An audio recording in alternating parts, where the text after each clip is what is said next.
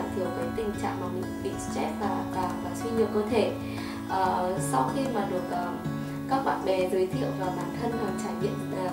uh, thử dịch vụ thì cuối cùng Hằng đã chọn là Bảo Hà Spa để chăm sóc Hằng trong suốt quá trình mang thai cũng như là sau sinh em bé. Và đến uh, giờ phút này thì Hằng cảm thấy là đây là một cái sự lựa chọn rất là đúng đắn. Nếu mà chưa đi chăm sóc bầu buổi nào thì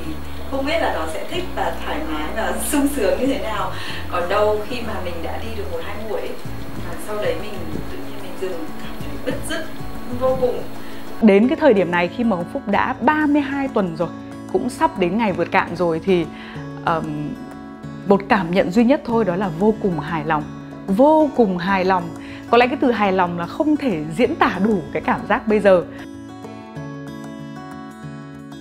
Đầu tiên thì mình cũng phân vân rất là nhiều cơ sở spa khác. Tình cờ là có hai bạn đồng nghiệp ở cơ quan cũng giới thiệu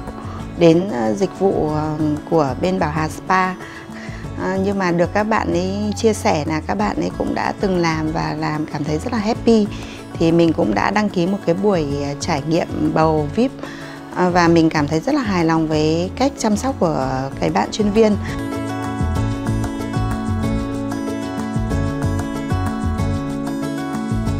Cái cảm giác rất là thoải mái, rất là thư giãn. Giả sử như buổi sáng hôm đó Hồng Phúc bị chuột rút nhá, rồi là bị đau vùng xương chậu quá nhiều thì ngay hôm đấy đến thì bạn nhân viên à, với những cái à, chuyên môn nghiệp vụ rất là tốt của mình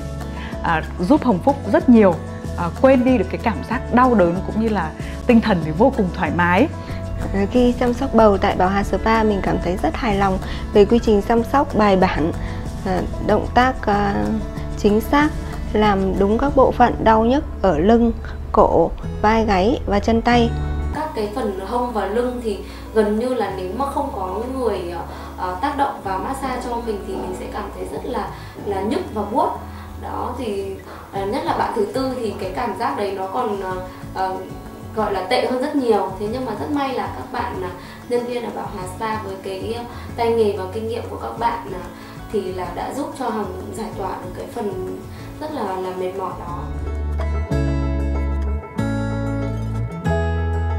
Sau khi chăm sóc được trải nghiệm cả ở nhà và cả ở tại cơ sở thì mình cảm thấy là uh, rất là hài lòng. Bởi vì là nhân viên uh, làm có tay nghề chuyên môn cao uh,